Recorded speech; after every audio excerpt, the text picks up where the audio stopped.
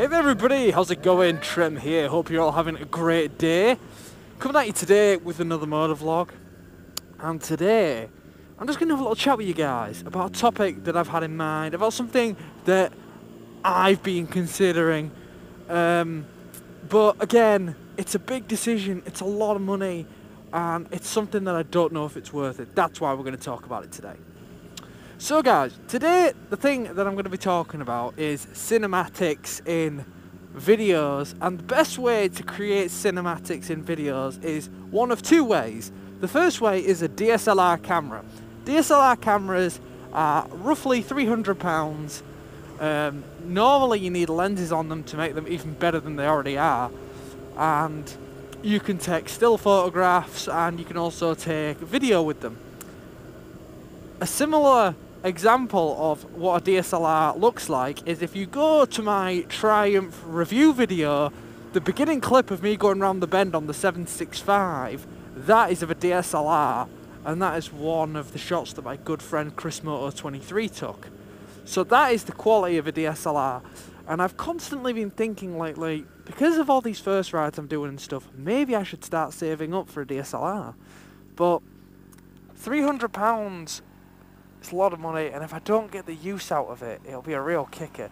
Currently, I've learned how to um, take shots with the GoPro, but even if the shots are wonky, I've learned how to uh, take the wonky. Oh, that's awful. Take the wonkiness out of the photo, uh, out of the video. Sorry, um, in editing, and I think that process is called. I think it's time warping or something.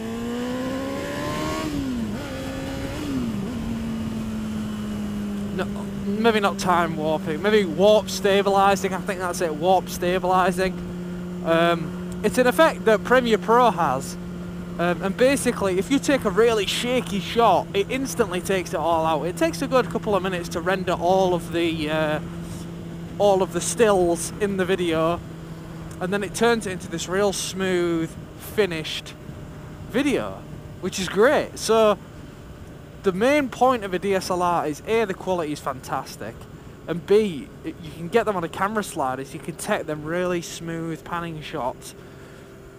And it's just like, that would be really awesome. But again, that's just for cinematics really. There's, they're not good for anything but pretty picture and video. Okay, so let's talk drones guys.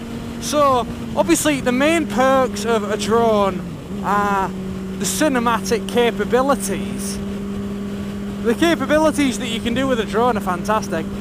I do know for a fact you can only use them in certain places, uh, such as um, not very built up places.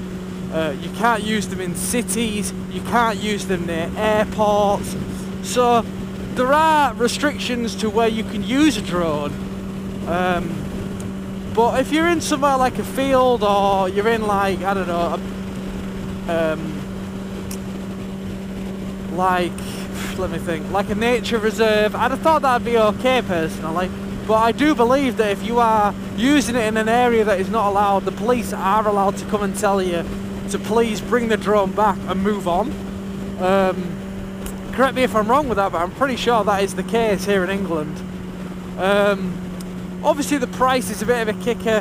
Now you could go and splash out on the GoPro Karma, which the GoPro Karma is the GoPro Hero 5, but it comes with a drone attachment. Now the drone on its own is four to 500 pounds, and that is not including the 400, 300 pound GoPro, so that's a very expensive piece of kit.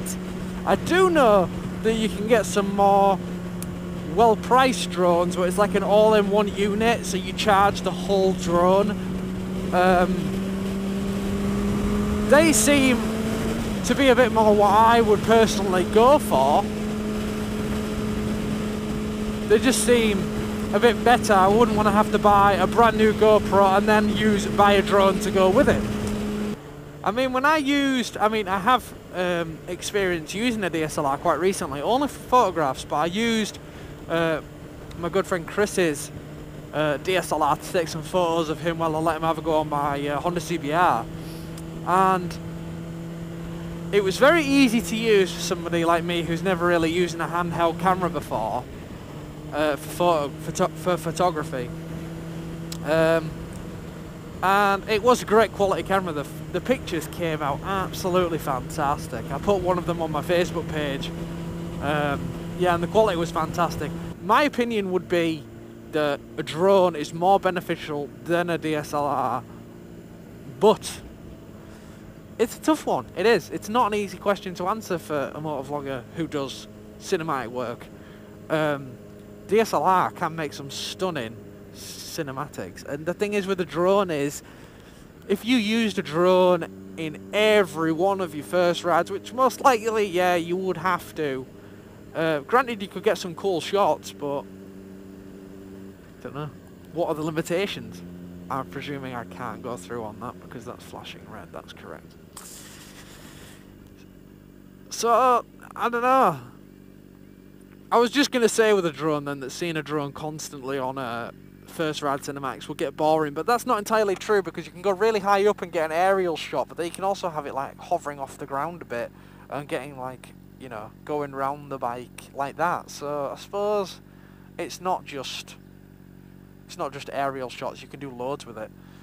Um, I'd be very worried about crashing a drone though, to be honest. I'd be very worried about that, because uh, they are not cheap.